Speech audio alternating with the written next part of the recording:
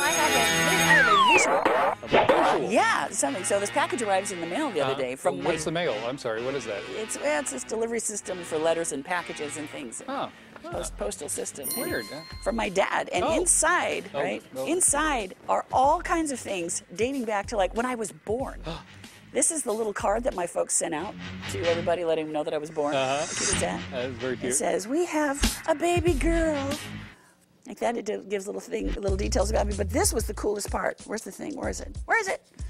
They, he also tore out of the paper back then my birth announcement from the Seattle Post Intelligencer. Oh, this is awesome. Okay. So it's going to be really hard to see because it's so faded. But where that little arrow is, is announcing my birth to the world. You want to see that? How about there? that? Turn that. Yeah. So, um, and it says, and the PI says, we want to welcome these new citizens to the Seattle area.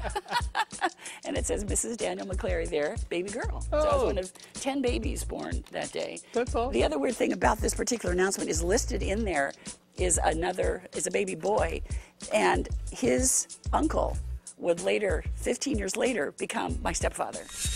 Weird. I know, strange, huh? Yeah. My mom's second husband was that baby's uncle. That's weird. Yeah, strange. And so after, when our families got to know each other when I was about 13, 14, and the two moms started talking, they were like, you're in the doctor's hospital? I was in doctor's hospital. When? 20th, October 19th. So they were there at the same time. So my future stepdad may have walked by my mom's room. Yeah. Uh, isn't that crazy? That is Anyway, crazy. Strange, Thanks strange for sharing that You're show and welcome. tell there, Little Show and tell there, too.